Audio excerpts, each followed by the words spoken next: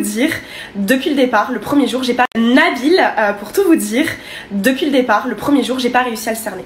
Et en fait, à la longue, je savais que c'était un arnaqueur. Je savais qu'il était arnaqueur, mais je savais aussi qu'il était sincère. C'est quelqu'un avec qui j'avais vraiment une complicité dans le regard et euh, dès que j'avais besoin de me confier ou d'avoir un conseil, j'allais tout le temps le prendre à part. Tout le temps, tout le temps, tout le temps.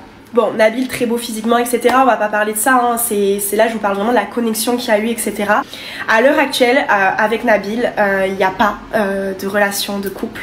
Nous ne sommes pas ensemble, on n'a pas donné suite à notre histoire. ça s'est arrêté là-bas.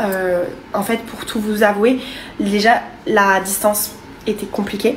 Mais au-delà de la distance, euh, il y, a, tout ce truc d'arnaqueur, etc. On a eu aussi que 6 jours vraiment pour apprendre à se connaître. Mais j'ai toujours contact avec Nabil, euh, on se suit sur les réseaux, on s'écrit quasiment euh, au moins une à deux fois par semaine. On est très souvent en note vocale en train de se, de se biper. C'est quelqu'un qui compte pour moi, que j'apprécie réellement. C'est une très très belle découverte pour moi. On peut dire qu'on est amis à l'heure actuelle. Après ce tournage, j'ai rencontré quelqu'un quelqu'un d'incroyable mais je pense quelqu'un du tout fait pour moi et moi pas du tout fait pour lui. Ça s'est terminé il y a un peu plus d'un mois maintenant et euh, je suis très bien comme ça. Nabil